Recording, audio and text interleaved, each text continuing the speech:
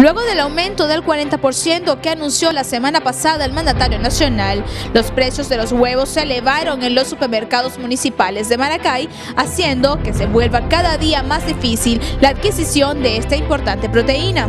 Durante un recorrido por diferentes establecimientos, se pudo conocer que los precios varían de un sitio a otro. En algunos puestos de venta lo tienen en un precio de 28.500 bolívares, mientras que otros están en 31.000 bolívares.